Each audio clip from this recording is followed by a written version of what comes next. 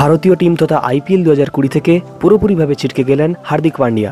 ভারতীয় cricket fan তথা Mumbai Indians প্রেমীদের জন্য বেরিয়ে এলো বিশাল বড় দুঃখের খবর। তো ফ্রেন্ডস আজকের এই ভিডিওতে আমরা জেনে নিব সেই হার্দিক পান্ডিয়ার সেই গুরুতর ইঞ্জুরির কথা, যে কারণে তিনি আগামী চার পাঁচ মাসের জন্য ভারতীয় দল তথা আইপিএল দু হাজার কুড়ি থেকে বাইরে চলে যেতে পারেন। তো প্লিজ দেখো পুরো ভিডিও, হার্দিক পান্ডিয়ার দ্রুত আরোগ্য কামনা করে ভিডিওটিকে করো লাইক ও সঙ্গে আইপিএল তথা ক্রিকেটের সমস্ত খবরাখবর পেতে এখনই করে দাও চ্যানেলকে সাবস্ক্রাইব তো ফ্রেন্ডস কোমরে চিড় ধরার কারণে জাসপ্রীত বুমরা ভারতীয় দল থেকে দু মাসের জন্য ছিটকে যাওয়ার পর ফের ভারতীয় টিমে লাগল বড় ধাক্কা।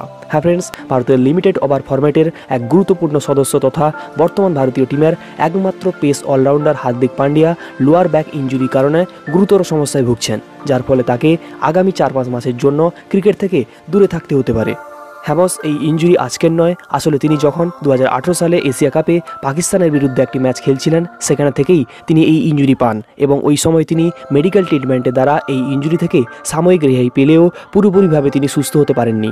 তাই সেই এশিয়া কাপের পর কয়েকটা সিরিজ, এমনকি দু হাজার উনিশ ওয়ার্ল্ড কাপের কয়েকটা ম্যাচেও এই ইঞ্জুরিতে তিনি ভোগেন। কিন্তু এই রিসেন্ট সাউথ আফ্রিকার বিরুদ্ধে টি টোয়েন্টি সিরিজ খেলতে গিয়ে সেই ইঞ্জুরি আরও গুরুতর হয়ে উঠেছে। তাই তিনি দ্রুত চিকিৎসা ও অপারেশনের জন্য রওনা দিচ্ছেন ইংল্যান্ডে। তাই কালই বিসিসিআই কনফার্ম করেছেন তিনি আগামী নভেম্বর মাসে অনুষ্ঠিত হওয়া বাংলাদেশের বিরুদ্ধে টি টোয়েন্টি সিরিজে তিনি থাকছেন না।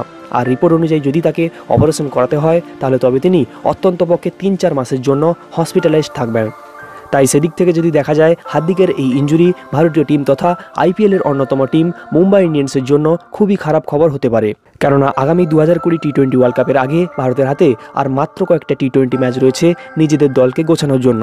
তাই ইঞ্জুরি থেকে ফিরে এসে আবার নিজেকে ফিট করা পারফরমেন্স তুলে ধরা দুষ্কর হবে বলে মনে হয়। যাই হোক, আমরা চাইব তিনি যেন সেই ইঞ্জুরি সারিয়ে পুরোপুরিভাবে ফিট হয়ে আইপিএল দু হাজার কুড়ির আগেই ফিরে আসেন। তো ভিডিও এটুকুনি ভালো লাগলে করো লাইক ও ক্রিকেটের সমস্ত খবরাখবর পেতে এখনই করে দাও চ্যানেলকে সাবস্ক্রাইব ধন্যবাদ।